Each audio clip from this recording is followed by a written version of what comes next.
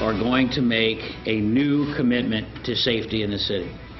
Cincinnati's mayor announcing a new crackdown on violent crime, saying help is on the way. The mayor acknowledging the safety standard for some neighborhoods is not being met, and he vows to change that. Good evening. I'm Mike Dardis. And good evening to you. I'm Sheree Paolello. This safety initiative is a story you saw first on WLWT. News host John London is live for us tonight in Avondale, one of the most crime-ridden neighborhoods in the city of Cincinnati. John?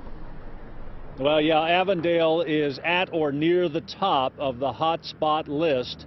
Uh, we're at Forest and Burnet, and in either direction along here, you've got pockets of problems. It'll cost a million, but targeting these trouble spots should start this month. When Cincinnati's mayor said this today, Help is on the way. longtime Avondale homeowner Tiny Ward delivered an amen. My personal opinion is long overdue. Ward cuts hair at Stags, a few blocks from where he and his family live at the base of Forest and Irving across from the zoo. It's where a 15 and 16 year old were arrested for a homicide last week. I didn't heard so many shootings and, and seen so much stuff that every time I hear something, I got to go check my daughter's room to make sure a bullet ain't came through the wall or something, you know what I'm saying? Ward Street appeared blessedly uneventful today, but it's a hot spot. Chief Jeffrey Blackwell says there are 23 segments of city streets where 15% of the violence happens. Neighborhood leaders know the drug mess is mobile, shifting when the heat is turned up.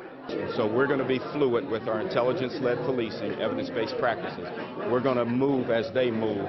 The most immediate impact will be targeting high crime corners. Police surplus money will be used to pay the overtime. The high visibility crackdown could start at any time. The law enforcement officers will be out there. They'll do the initial push. But ultimately, we need citizens to say, not on my street. Community activists thanked Mayor John Cranley today for labeling safety as non-negotiable. Fund it first, he says, then decide what else you can afford. Council is fine-tooth combing the approaching budget, committing itself to restarting a recruit class, reconstituting a gang unit, reinvigorating CIRV. uh, with the dope boys. They know it's teeth back in the game. At Stags, where you can't just walk in, you got to be buzzed in, the push arrives late. After 14 years in Avondale, Tiny Ward's considering a move. I'm not really afraid for myself, but for my daughter and my wife, I am, you know. And a majority of council appears ready to bite the bullet and pay for a new recruit class, but with retirements this year and next year, the number of them, it, it'll be basically a wash. Live in Avondale, John London, WLWT News 5. There will be a one-time hiring effort to attract 15 to 20 officers from other departments and have them available for street duty this coming summer so that a gang unit can be formed and begin that specialized work.